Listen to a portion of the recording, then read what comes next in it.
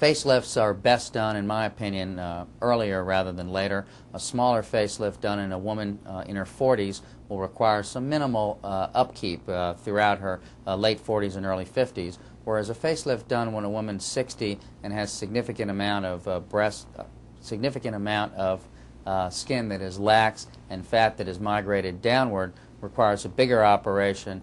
it's more of a dramatic change uh, that people will recognize that you look different. The same smaller facelift done in a younger 40-year-old woman, for instance, will look better, will make her look refreshed, will not look lifted, but just improved, rested, and less tired.